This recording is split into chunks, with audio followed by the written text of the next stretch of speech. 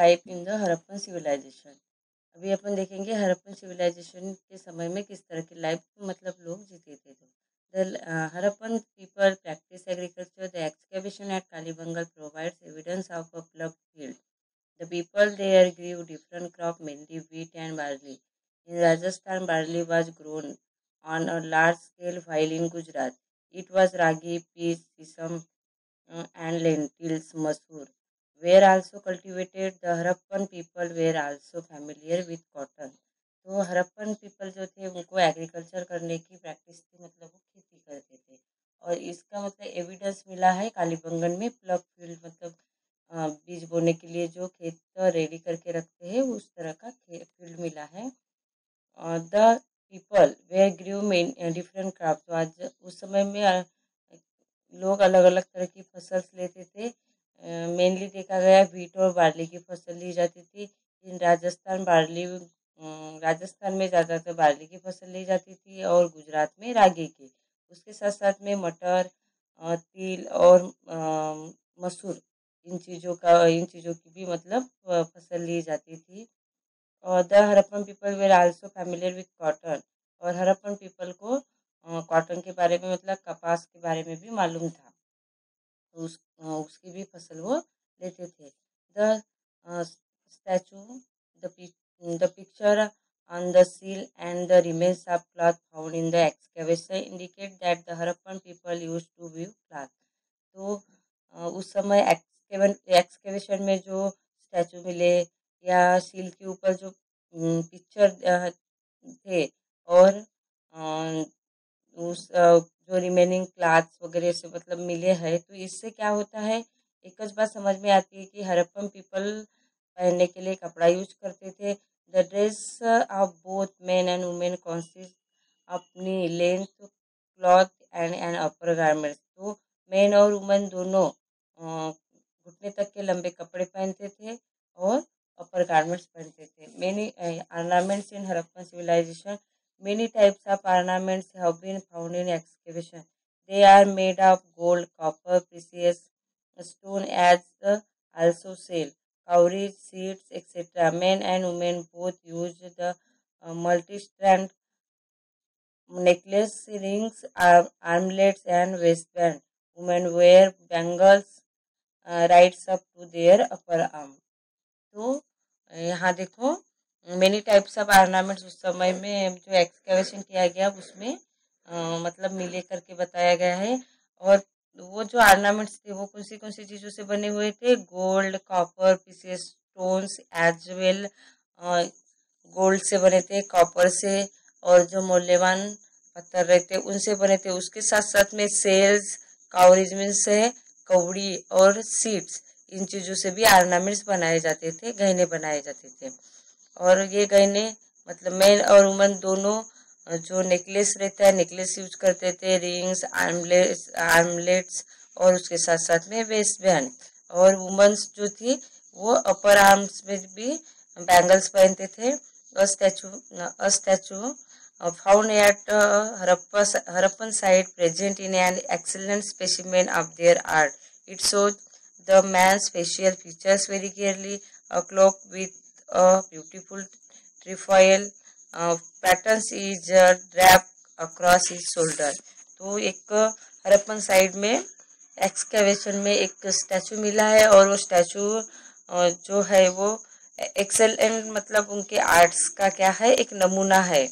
उसमें दिखाया गया है जो इंस जिस इंसान का वो स्टैचू है उसके जो फेस के फीचर्स है जो विशेषता है उनके फेस की उसको क्लियरली दिखाया गया है।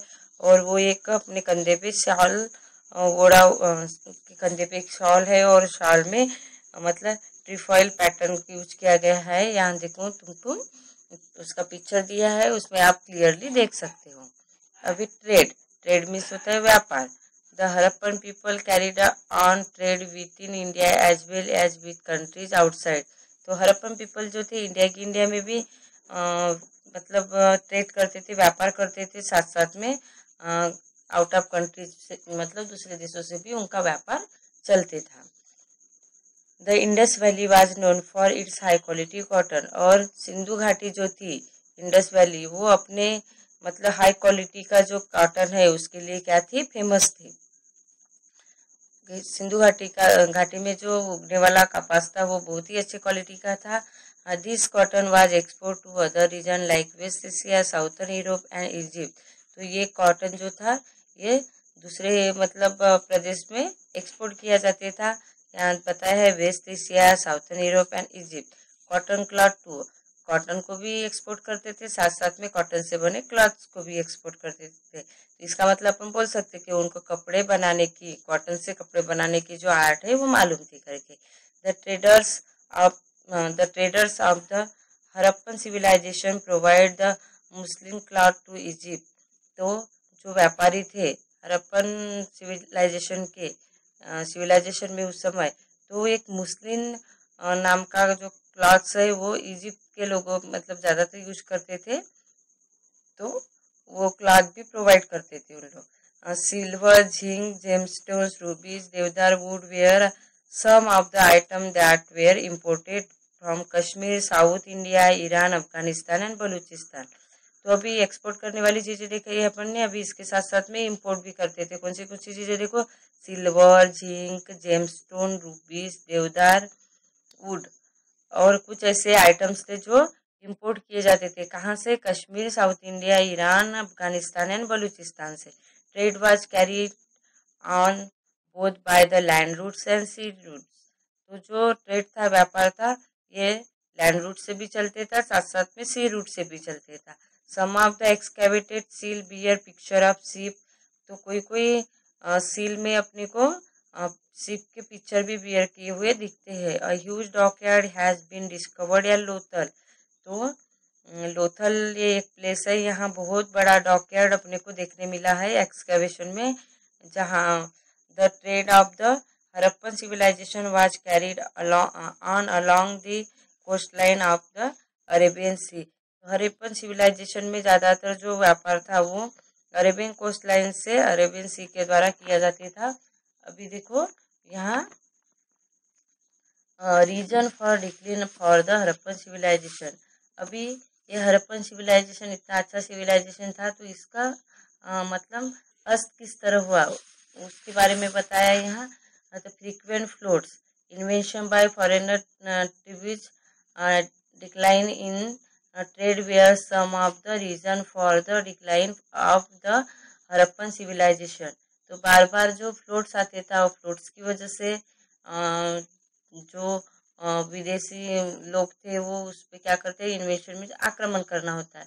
डिक्लाइन इन ट्रेड मीन्स व्यापार में बार बार घाटा होना, इन सारी चीज़ें जो है, ये हरप्पन सिविलाइजेशन के अस्त के लिए कारणीभूत बोल सकते हैं अपन। Some reasons become are due to weakening of monsoon drying up of river basin earthquakes change in sea level तो आ, कुछ जगह पे या कुछ प्रदेश में जो मानसून था वो टाइम पे मतलब कमज़ोर मानसून की वजह से वहाँ फ़सल फ़सल बराबर नहीं हो पाती थी और लोगों को जीवन जीने में कठिनाइयाँ होती थी।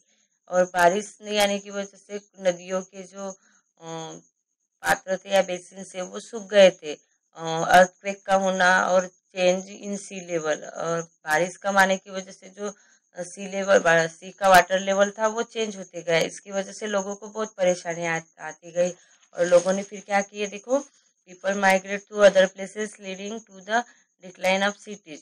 फिर लोगों को जीवन जीने में कठिनाई आने की वजह से लोगों ने माइग्रेशन करना स्टार्ट कर दिया और माइक पीपल माइग्रेट होकर अदर प्लेसेस पे गए और इसी की वजह से बड़े बड़े शहर क्या हो गए अस्त हो गए the Harappan civilization was the prosperous and flourishing urban civilization. It laid the foundation of the Indian civilization. तो ये हरप्पन सिविलाइजेशन ये एक मतलब समृद्ध और विकसित अर्बन सिविलाइजेशन था और इसी सिविलाइजेशन की वजह से अपने इंडियन मतलब भारतीय संस्कृति का ये क्या है फाउंडेशन है। इसी तरह मतलब हरप्पन सिविलाइजेशन जो है किस तरह अस्त हुआ और किस तरह उस समय के लोग जीवन जीते थे, ये अपने इस में देखे हैं।